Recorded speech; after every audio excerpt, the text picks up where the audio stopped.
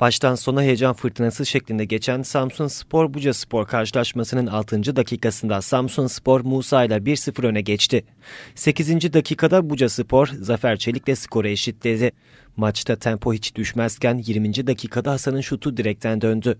22. dakikada İskender, 29. dakikada ise Zafer'in penaltıdan attığı gollerle Buca Spor 3-1 öne geçti. Bu durum statta buz etkisi yaptı.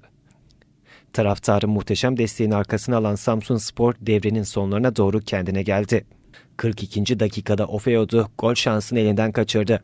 45. dakikada ise Embilla farkı 1'e indirdi. İkinci yarıya müthiş başlayan Samsun Spor golleri de peş peşe buldu. 47. dakikada Eren skorda eşitliği sağladı. Durum 3-3 oldu.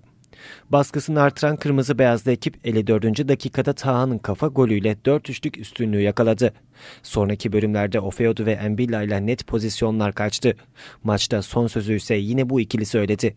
84. dakikada Embilla'nın pasında Ofeodu durumu 5-3 yaptı. Samsun spor yoluna devam etti.